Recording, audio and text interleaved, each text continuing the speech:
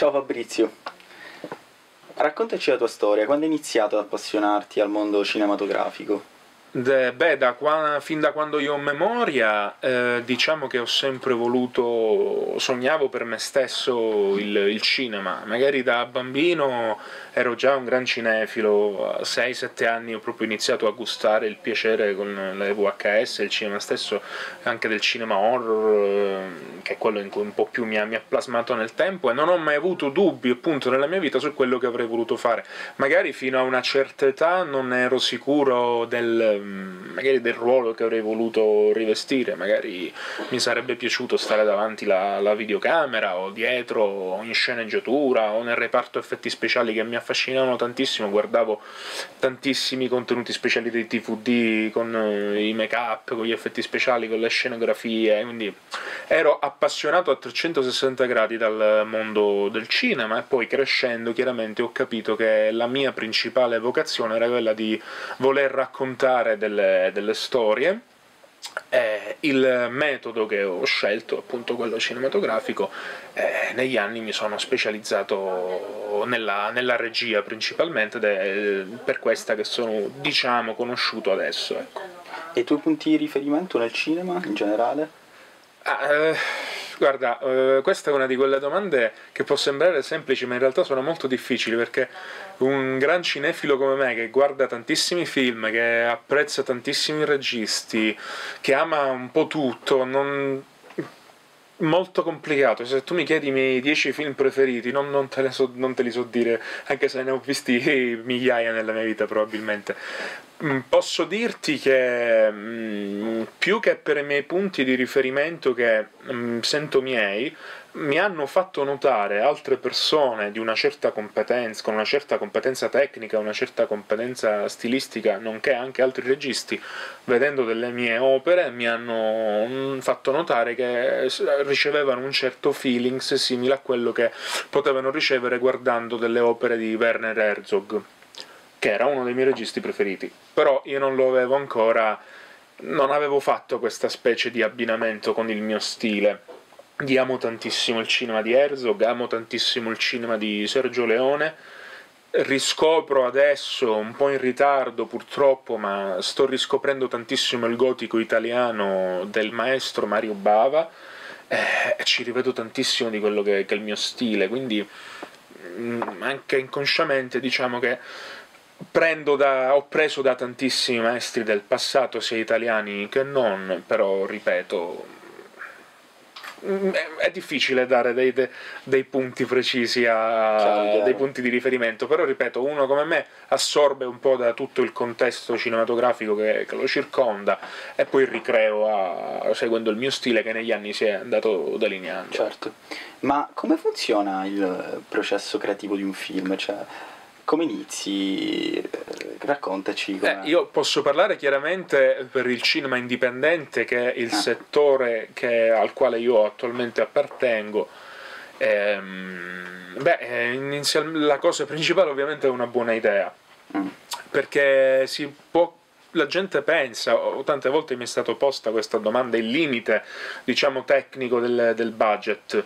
In realtà con la storia adeguata, mm, con la giusta idea e con un team di appassionati professionisti, il limite del budget può essere scavalcato. Il primo passaggio è chiaramente la, la, la realizzazione di, di un soggetto che poi viene trasformato in sceneggiatura Successivamente eh, si iniziano a fare i casting, eh, contemporaneamente la scelta delle location. I più furbi dovrebbero anche cercare dei finanziamenti, cose che io non sono bravo a fare, quindi ci siamo sempre un po' con Calama Film autoprodotti, però fatelo perché con i vari film commission, tramite la sponsorizzazione varie cose, un aiuto economico certamente può, può venire dato. E poi si arriva al momento più bello della realizzazione di un film, ovvero eh, il, eh, il set quando hai tutto pronto e si inizia a girare, lì parte la vera, la vera magia. Diciamo, questo è il prima, il dopo invece la promozione di un film come funziona? Quella è la parte più difficile la promozione perché ci sono tanti bei prodotti che vengono realizzati e poi è difficile farli vedere certo. soprattutto in Italia sto scoprendo perché? Mm, perché siamo un, pochettino, diciamo, esterofili. Nel senso che diamo per scontato che qualsiasi cosa venga realizzata fuori sia automaticamente migliore. Infatti diciamo che il mio agente per la distribuzione di Dio non ti odia chiedendomi ma tu preferisci uscire prima in Italia o prima all'estero, io avevo pensato che l'Italia fosse la, la, cosa migliore, il mio paese, la mia patria, insomma, fare vedere un pochettino. Invece mi hanno detto no, se puoi vai prima all'estero perché quando tu torni in Italia dopo essere stato all'estero chissà perché sei bravo, mentre se tu sei italiano, no, vabbè, sei, è un italiano, quindi figurati cosa può riuscire a fare, il che è una cosa tristissima, poiché in Italia ci sono tantissimi registi eccezionali, eh, senza andare a scomodare il passato, che noi negli anni 50, 60, 70, 80 abbiamo avuto alcuni dei registi più grandi del mondo che hanno cambiato il modo di fare cinema in, a 360 gradi.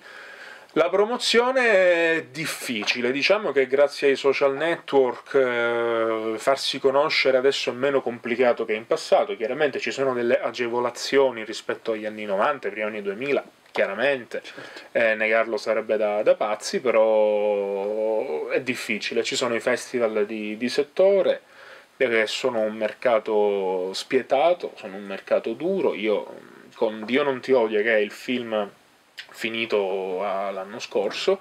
È stata la prima mia esperienza con i festival perché i lavori precedenti non li avevo mai mandati in giro. Erano per me, li consideravo gavetta. Punto. Anche se ho fatto delle cose che hanno avuto dei buoni riscontri, dei buoni successi, eccetera, eccetera, per me era tutta gavetta, roba realizzata per il web, realizzata principalmente per me, per capire come fare e per migliorare. Il primo prodotto, quello che vorrei fosse considerato come opera prima, è appunto Dio non ti odia, e ha vinto un po' di festival, eh, però soprattutto all'estero. Qua in Italia anche abbiamo ricevuto dei premi, però all'estero c'è stata un'accoglienza più calorosa, anche più curiosità, non a caso è stato più semplice appunto distribuirlo, perché dopo un po' qualche vittoria ehm, è stato proposto a degli americani che l'hanno visto, è piaciuto e lo stanno distribuendo loro, quindi insomma è un peccato perché è un po' così per tutti gli artisti. L'Italia... Ci arrivi dopo non solo ci arrivi dopo, non è il paese migliore dove poter svilupparsi, è, a volte sembra di remare contro. Mm. Non è una bella, una bella, cosa. Cioè, fa un certo effetto cioè. essere apprezzati a migliaia di chilometri di Fuori distanza. Casa. Mentre magari girando per le strade del mio paese non, nessuno sa quello che facciamo, magari lo sanno ma non gliene importa mm. niente, o magari lo sottovalutano, magari lo sanno e lo sottovalutano.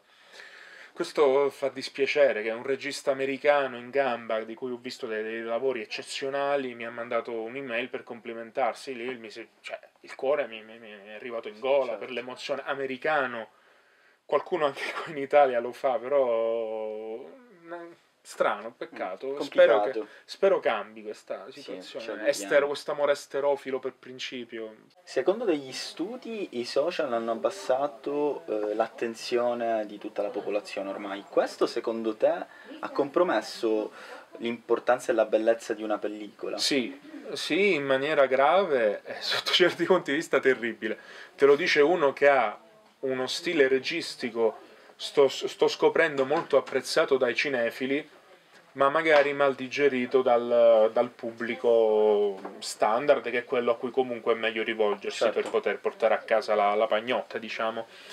Che significa che io ho un montaggio, uno stile registico, uno stile montagico abbastanza riflessivo, in alcuni contesti lento, sono delle scelte. La soglia dell'attenzione del pubblico, essendosi drasticamente abbassata, ma non soltanto per colpa dei social, probabilmente ne, ne parleremo anche dopo, ma anche per via del, del, format della serie tv che sta piano piano distruggendo quello del, cin- del cinema, cioè dopo 30-40 minuti il pubblico non ne può più di vedere un film, mentre eh, i film tendenzialmente di media durano un'ora e mezza, due ore, eh, cioè, per alcuni risulta anche pesante, pensa a quando poi escono quei film eh, di tre ore, quattro ore, adesso la gente non riesce più a guardarli, il che è terribile per quanto riguarda questa soglia dei, dei video, delle storie di, di, 15 secondi, a me una volta hanno chiesto di realizzare un, un trailer di un mio film di, 90, di 59 secondi da mettere su, su Instagram. Su Instagram. Cioè, dico 59 secondi va bene, però non è una cosa positiva questa fretta, questa che sta, cioè, ogni opera ha il suo tempo. Facciamo un esempio, io ti porto a vedere un quadro bellissimo, ti do 30 secondi per guardarlo. E poi no, andiamo all'altro quadro, è la stessa cosa. Ah, certo. Uno, ognuno ha bisogno del proprio tempo per assimilare una forma d'arte. Il cinema è una, Una forma, forma. d'arte. Forse questo non è condiviso da tutti. Che il cinema è una Sì. forma d'arte. Eh, mi dispiace per loro. Ah. Io non condivido la loro, la loro pensiero. Eh, certo. Che ci sono dei eh, alcune forme di cinema che sono opere immortali, Certo. eh, identiche a a una grande opera di Leonardo da Vinci o di Michelangelo. Il cinema è arte. Però il fatto che il pubblico non sia più abituato a dei montaggi riflessivi lenti, i montaggi del western, cioè, ragazzi, il western si basa sulle distese, su- sugli sguardi, cioè il- la fine del buono, il brutto e il cattivo, 5 minuti di, di- il triello con la famosissima col famosissimo pezzo di Morricone, il triello. Sono 5 minuti di musica con loro fermi, cioè Eli Wallach, Clint Eastwood e Lee Van Cleef, cioè il buono, il brutto e il cattivo, che si osservano per 5 minuti, ragazzi, è meraviglia. Io ho i brividi solo a ripensarci, ma la gente adesso direbbe Che noia. eh vabbè, eh, perché? Ma non potevi... Ragazzi, ogni opera ha il s- la sua forma. Poi ogni artista, ogni regista, ogni montatore, ogni sceneggiatore presenta un'opera con una determinata potenza, una determinata enfasi, che se tu vai a modificare per i gusti del pubblico, allora facevi prima a non farla direttamente. Certo. Dio non ti odia, Sì. eh, sempre torno lì, che il film, l'ultimo realizzato, è un film che ha delle sequenze lente, perché analizza la sofferenza di un padre in un viaggio che lui deve fare sia fisico ma soprattutto spirituale, e quindi chiaramente non puoi fare una corsa, devi fare un percorso. Quindi è inutile andare a dire però è un po' lento, poi i gusti sono gusti, Certo. ognuno ha la sua soglia, però è indubbio che io non ho mai sentito negli anni 90 sentire qualcuno parlare male di Balla coi lupi, un film bellissimo di, di e con Kevin Costner, tutti l'abbiamo visto, un cult, tutti lo conosciamo, un capolavoro, e sono tre ore e mezza di film. Certo. Ora mi esce Scorsese con The Irishman e uscivano i post per prendere per il culo la durata. Sì, sì, sì. Io non ho ancora visto il film, ma è uno Scorsese, sono sicuro che mi piacerà, ma porca miseria, vedere i, i meme che lo prendono in giro per la durata mi fa capire, dico, ma di che stiamo parlando? Fabrizio, secondo te Netflix ha compromesso eh, il cinema e le sale? Che rapporto c'è secondo te dall'avvento di Netflix? Allora, diciamo che eh, la pirateria prima e lo streaming in generale sta distruggendo il rapporto dell'uomo. dell'uomo. Uscita un po' solenne dell'uomo. Il rapporto del, del pubblico con eh, la sala. Netflix, se vogliamo, è, è la, la- la goccia che fa traboccare il vaso. Io non sono un amante dello streaming, eh, ancora ri- riesco a concepire chiaramente quello legale, quindi quello a pagamento con abbonamento. È il futuro, non mi piace, ma è in- indubbio che comunque è il futuro. Certo. Ehm, Netflix non sono un grandissimo fan, non l'ho mai attivato, non, non mi interessa perché mi dicono spesso eh, no però sai dovresti vedere quel film su Netflix è bello, ok chiaramente ma io a caso ho una piccola videoteca personale che continua a, a infoltirsi perché sono un grande di- diciamo un collezionista di film da sempre, prima VHS, DVD, eh, adesso i Blu-ray io ho sempre film da, da vedere, però secondo me è molto più, inter- più bello per me vedere un film che ho acquistato e che ho comprato, quindi sto dando un valore eh, a tanta gente che ha investito tantissimi soldi, che, che ha pagato tantissime persone. Cioè il cinema è un'industria che dà lavoro alle persone, piratando, chiaramente. È che è diventato talmente facile piratare che nemmeno, cioè abbiamo perso il, il contatto con, con, la, con questo tipo di realtà. Cioè è talmente semplice, ci- vediamo una notizia su, su- sul social network, è uscito questo, che bello, lo cerco, ta, lo vedi, hai rubato.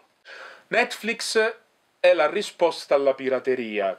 Sì. Diciamo che anche grazie a Netflix, Amazon Prime, Chili, Infinity, ce n'è tantissimi, so letto che la pirateria sta subendo dei, dei- dei brutti colpi. Questa è una cosa ottima. Certo. Perché, per quanto ripeto, non sono un amante dello streaming, comunque una forma di abbonamento. Poi eh, anche diciamocelo, quando una cosa la, la paghi, secondo me acquista un valore diverso. Sì. C'è un libro acquistato, siamo in una libreria, quindi eh, prendo l'esempio. C'è un libro acquistato, pagato, letto, Sudato. su- messo poi a, a un certo ricordo. Certo. C'è un PDF scaricato, ragazzi, ha lo stesso valore di. No, no, no. Poi molti dicono: Eh, vabbè, ma io il film lo guardo in streaming, poi se mi piace lo compro. Sì, uno non devo vedere se è vero, Ah, nessuno va a controllare. Due, ragazzi, ripeto, Si perde- sì, non sono un grande amante di Netflix, però non sono neanche un ipocrita. Se Netflix mi, de- mi desse la possibilità di lavorare, chiaramente che io sono un collezionista ma non sono un fesso, eh, avallerei l'idea. Eh, il rapporto con la sala, certo, dispiace, dispiace perché vedo i cinema sempre più vuoti. E anche quello è, ragazzi, il cinema si chiama cinema perché, perché, perché vai al cinema. Cioè, è, è talmente semplice, non si Semplice, chiama tablet, Non si chiama tablet. non si chiama cellulare. Cioè, io mi incazzo quando, sì. quando- quando la gente vede le mie cose sul telefonino, perché certe volte me le aprono davanti, ah guarda, ho visto questo, bello, e io mi incazzo, dico, te lo guardi al telefonino. Cioè, io ci ho lavorato sei mesi per fare la cosa e tu lo guardi al telefonino, almeno guardalo al computer se proprio non vuoi guardarlo in tv. E quindi figurati quando vedo le sale vuote, anche quello è un settore, ripeto, che dà da mangiare a famiglie. Purtroppo i cinema chiudono, così come chiudono le, le videoteche. Certo. Cioè, ragazzi, io quando me la buttavo, quando mi rinnovo la scuola, ho fatto tantissime volte, io passavo le mattine da blockbuster. E adesso, grazie a Dio, ho finito la scuola e non dovrò più tornarci perché... Però... Ragazzi, era magico. Io passavo le ore da blockbuster, le ore a guardare con i miei amici dell'epoca, sfogliavamo, prendevamo un film, andavamo Tralasciando la battutaccia sulla scuola, ragazzi, non fate come me, siate dei buoni studenti che è meglio. Eh, si perde quella, quella magia. E un'altra cosa che si sta perdendo è anche il rispetto per gli altri dentro le sale cinematografiche. Perché se io vado in una sala cinematografica, devo avere la luce eh, del simpaticone che deve farsi le storie da mettere su Instagram o i, o i flash. Ho visto, capita soprattutto con i film più commerciali, diciamo, io amo sia i film il cinema d'autore sia i film più commerciali, ma non vi dico quando ho visto Il Re Leone, quando ho visto Aladdin, il remake in live action, cioè era ah, flash, flash, flash, Spettacolo. foto, cose, audio gente mandava audio messaggi, cioè veramente io stavo Sono impazzendo. al cinema, sono al cinema, evento raro. Cioè, io sto impazzendo, io impazzivo, questa è una cosa terribile. Bisognerebbe intanto recuperare il rispetto per gli altri, perché se io pago un biglietto, io pago 7,50 euro, 8 euro, 50 quanto è, per vedere un film lo devo godere nella massima tranquillità possibile. Fabrizio, parlaci di Calama Film e oltretutto com'è fare cinema a Palermo e in Sicilia.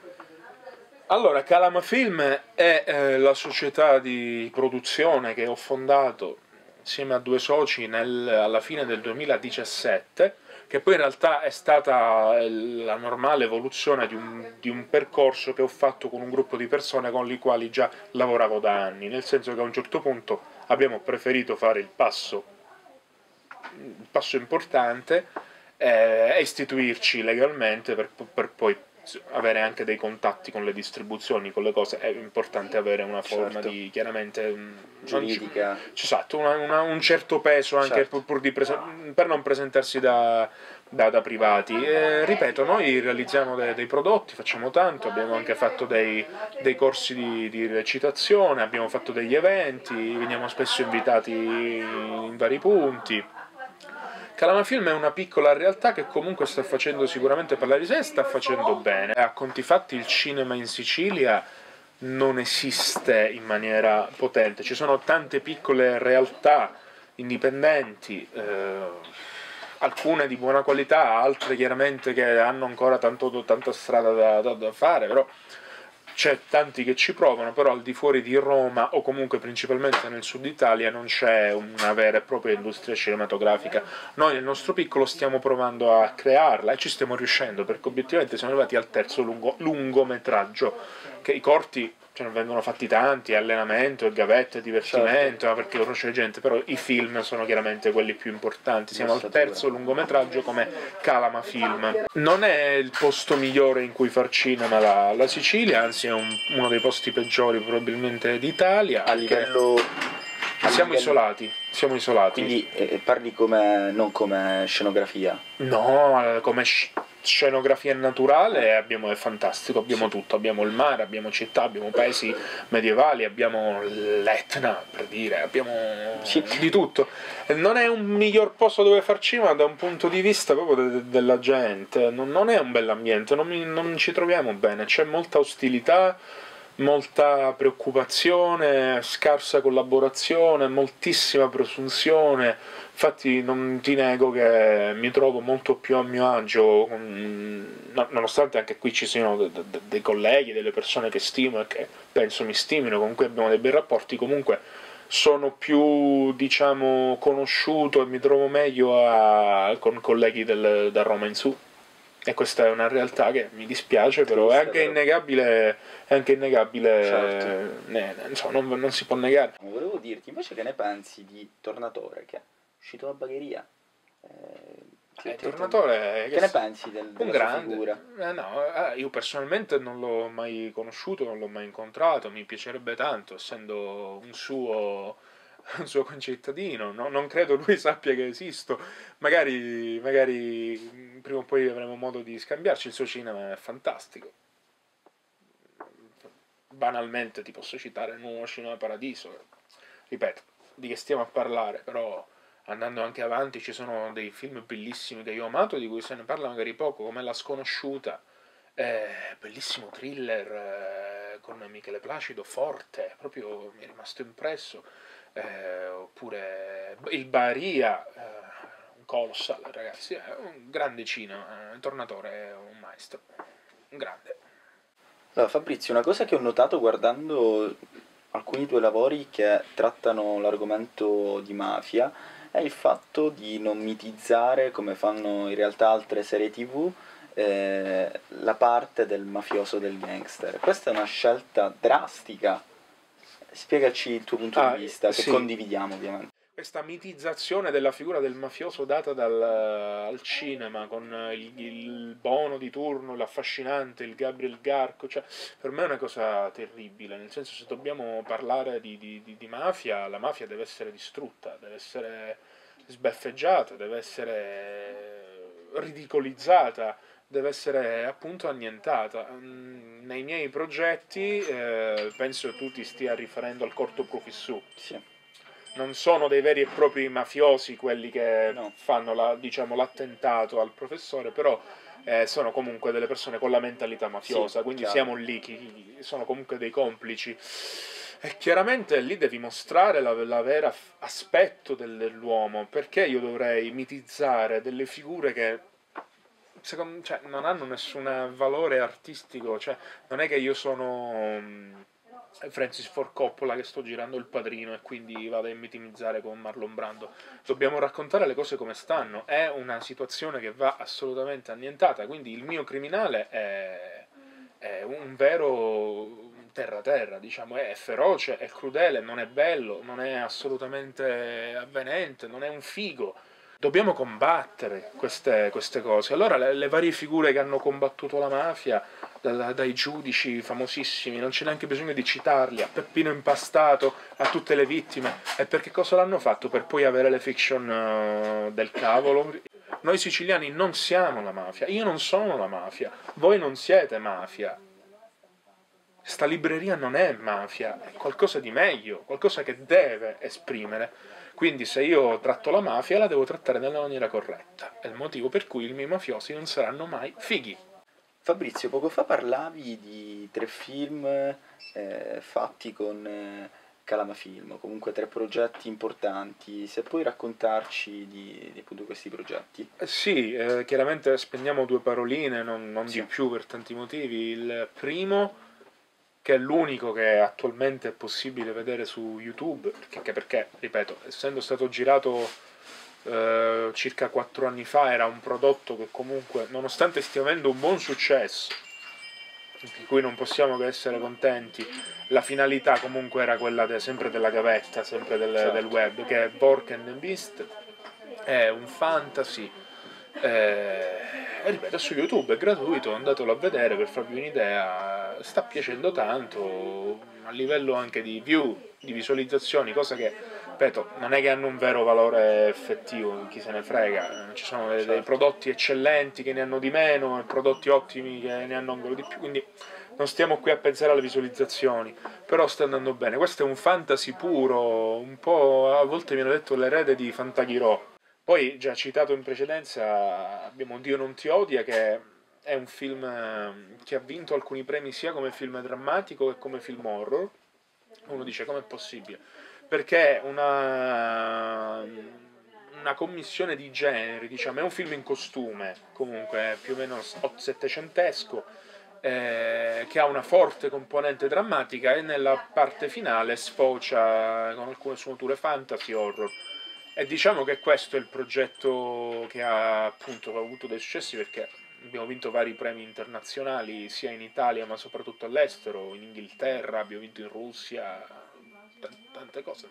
Soddisfazioni. Cose belle, eh? fa capire che qualcosa di buono la stai facendo nel, certo. nel, tuo lavoro e questo film presumiamo uscirà presto anche in Italia perché una volta che alcuni paesi esteri si sono interessati, altri stanno interessando, stiamo anche attendendo delle risposte per l'Italia e quindi presumibilmente potrete vederlo, penso nel 2020 anche qui in Italia mentre il nuovo film che stiamo attualmente girando, che è il più ambizioso, diciamo, è un thriller, si chiama Il buio del giorno. Eh, questo lo abbiamo anche cofinanziato grazie a una campagna di crowdfunding che si è conclusa positivamente, quindi eh, colgo l'occasione anche per ringraziare nuovamente le varie persone che ci hanno fatto una piccola donazione. Eh, questo film un thriller, c'è il trailer su YouTube, quindi se siete curiosi potete andarlo a vedere, anche su Dio non ti odia, insomma, per Dio non ti odia c'è il, il trailer. Questo è un thriller però ambientato ai giorni nostri, quindi abbiamo abbandonato per il momento la, la ricostruzione, diciamo, storica degli avvenimenti. Eh, siamo particolarmente fieri di questo film, di come sta avvenendo su, perché vantiamo delle collaborazioni importanti. Quindi ragazzi, il buio del giorno stiamo lavorando, le riprese sono quasi finite, la post-produzione è iniziata, ma anche lì saranno mesi. E anche questo, una volta che sarà finito, vedremo come potervelo fare vedere. Però chiaramente Dio non ti odia è più imminente. Allora Fabrizio, tu da dove prendi ispirazione per scrivere un, un film, i, i dialoghi? Come, come funziona? Guarda, chiaramente penso sia una cosa un po' comune a tutti gli sceneggiatori. Io non è che sia uno sceneggiatore, però sceneggio quello che faccio, quindi sto iniziando anche a considerarmi tale, chiaramente. In realtà non ho un punto di riferimento specifico da questo punto di vista. Chiaramente guardo tantissimi film e la base è quella, cioè un regista che non guarda i film, insomma. Quindi guardo tantissimi film. Eh, ispirano tantissimo anche i videogiochi, ma soprattutto i libri. Io sono un, un avido lettore da, da, sempre e chiaramente seppur non mi sono mai ispirato palesemente a un'opera, per esempio Dio non ti odia, io l'ho, l'ho ideato dopo aver, dopo aver visto un film, Il Nosferatu di Werner Herzog, uno dei miei film preferiti, l'ho visto la prima volta penso due anni e mezzo fa, eh, mi folgorò e poi avevo appena finito di leggere un romanzo di Stephen King altrettanto famoso che è Le notti di Salem, sempre in tema vampiri. E lì per lì queste due opere, che comunque anche tra loro, no, tranne il concetto del vampiro, non hanno nessuna influenza, mi sono reso conto che nei mesi successivi mi avevano talmente folgorato, mi erano entrate dentro, che la mia mente in un momento di ispirazione, perché poi, sai, quando tu l'idea la cerchi non ti arriva, l'idea arriva quando meno te l'aspetti, sì. ho partorito questa, questa, idea che si è rivelata vincente e che aveva a che fare col vampirismo, che si è evoluta, poi Indio non ti odia, quindi chiaramente l'ispirazione mi è arrivata da, da, da tutto il cinema e la letteratura horror riguardante i vampiri, però se non avessi visto quel film che mi ha cambiato perché mi, mi, ha folgorato. Se non avessi letto poi quel libro che mi ha anche colpito tantissimo, magari non avrei avuto l'ispirazione per Dio non ti odia. Di l'ispirazione, ripeto, arriva eh, il buio del giorno, che è il thriller eh, che, abbiamo, che, che stiamo girando adesso, mi è venuta sempre dopo aver letto due romanzi thriller. In realtà non ha nessuna attinenza con questi due romanzi, cioè io adesso non dico quali sono, però se tu dopo aver visto il mio film leggi il romanzo non vedi dei punti in comune, anche perché, ripeto, l'ispirazione non è la trasposizione. Certo. Che una volta dissi che Dio non ti odia era ispirato alle notti di Salem e mi chiesero, eh ma i diritti come li hai ottenuti? I diritti, ma di che stiamo parlando? Non c'entra nulla con quel romanzo il mio film, niente. Ma la lettura di quell'opera mi, è- mi ha fatto analizzare, mi ha fatto partorire una mia idea che è arrivata grazie a quello, ma non ha una- un'attinenza diretta. Eh, quindi ripeto, questo libri, film, videogiochi, qualsiasi forma di, di intrattenimento, di arte, di cultura può, può influenzare.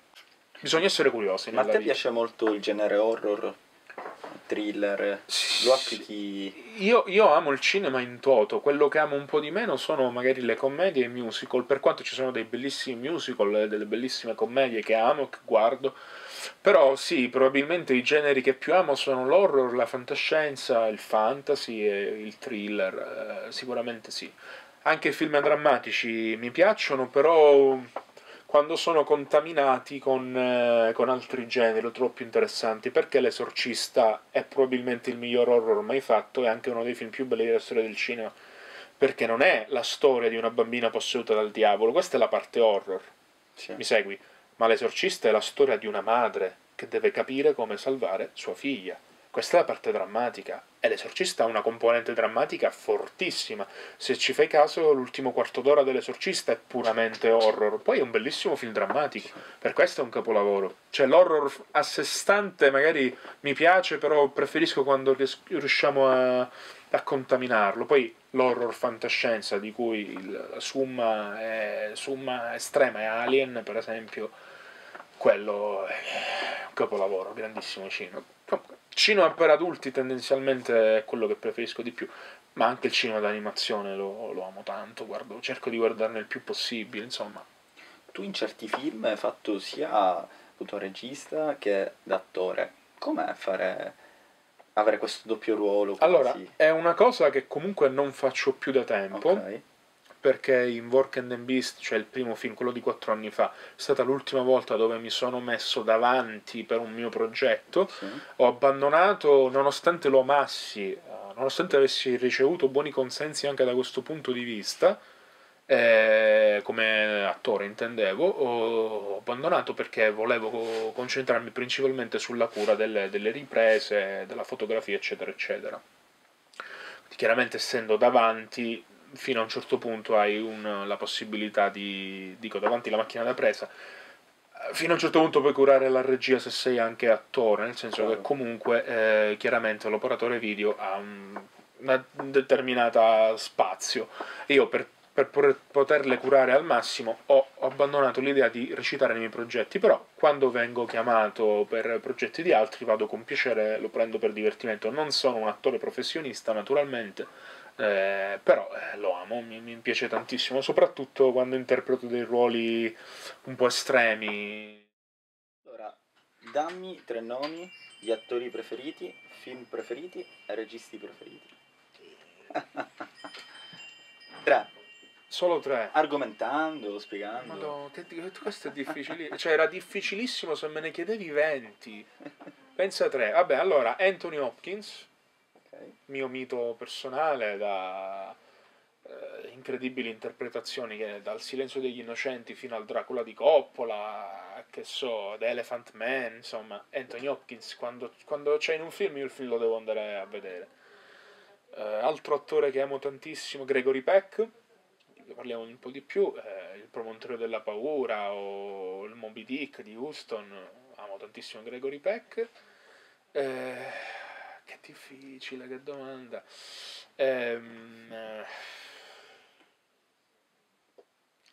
è Clint Eastwood, dai, perché è un mio mito, lo adoro. E passiamo ai registi, Clint. Eastwood, che è secondo me il regista del, eh, americano se non mondiale del millennio, perché è uno che, ah, nonostante avesse già fatto tantissimi bei film negli anni, perché Clint Eastwood la carriera del regista l'ha iniziata negli anni 70, però uno che dagli anni dal 2003 in poi ti spara di fila Mystic River, Gran Torino, Changeling, Million Dollar Baby, Fle- Lettere da, da Iwo Jima, eh, The Mule, adesso Richard Jewell, cioè il film più brutto che ha fatto Clint Eastwood degli ultimi vent'anni è bello, e gli altri sono capolavori, quindi Clint Eastwood sicuramente per me registicamente è pazzesco.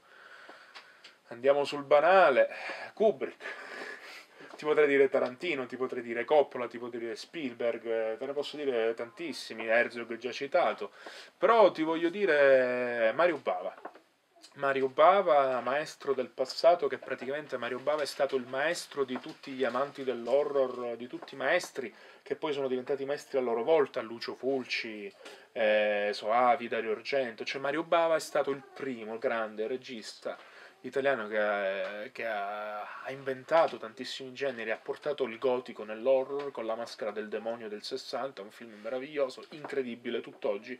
Quando un film di, di 50, di 60 anni fa, visto oggi è ancora incredibile, vuol dire che il genio c'era. Mario Bava è un orgoglio italiano e poi Sergio Leone, di cui magari un po' ho ereditato la cura per, per gli sguardi, la passione per il montaggio lento e sofferto. Sergio Leone con la trilogia del dollaro c'era una più, c'era una volta il West, ma c'era una volta in America, chiaramente ha fatto tantissimo. E ripeto, vi ho detto tre registi e due italiani, quindi non sottovalutiamoci perché abbiamo fatto tanto per quest'arte noi, tanto. E poi mi avevi chiesto... Film. Ah, tre film. Lo squalo di Spielberg, probabilmente il mio film preferito. Shining di Kubrick. Okay è un terzo film. Sto cercando di dirtene qualcuno dei non citati. Dai, te la butto un po' su divertente. Robocop. Fantastico Robocop. Chi non l'ha visto guardi il Robocop. Non è, cioè uno dei miei film preferiti. Capisco non merita di essere in tre, ma con queste domande complicate ti butto il Robocop. Grande, grandissimo film.